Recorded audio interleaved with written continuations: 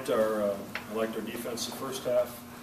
Uh, You know, our ball movement was really good against their zone. I thought we did a good job of making the extra pass and and finding the three-point shooter, but we mixed it in with, uh, uh, making sure we got a few touches on the post, which which was good to see as well. So, um, you know, I liked the way we started the second half. Obviously, I didn't like the way we played uh, the last 13 or 14 minutes. We have to be able to sustain some defense for longer periods than that.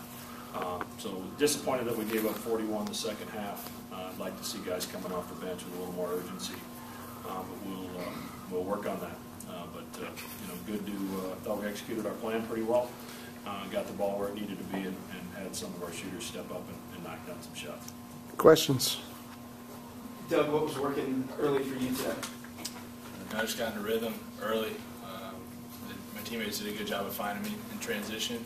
That kind of got me going uh, right off the bat. both guys, they were really, Presbyterian was really grinding it out offensively for about that first 11 minutes and kept it close. How important was it to get that pace of the game up? Yeah, that, that was big for us. Uh, we knew going in that they were going to do play all, all 30 to 35 seconds of the shot clock. So uh, we knew when we got the ball and with how uh, little depth they had, we were going to try to really run them into the ground. Yeah, uh, we established that pretty early, uh, running transition.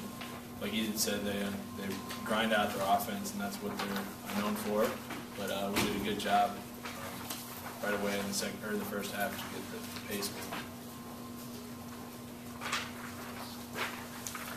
Ethan, how much do you like playing against zone? Um, it, it, it was it felt good when I got that first one to go in and I got a little rhythm. But um, yeah, they, they were really spread out. They were really concerned with Doug and Greg down low, and um, teams are going to take away the inside like that, uh, we as shooters got to make sure they pay for it.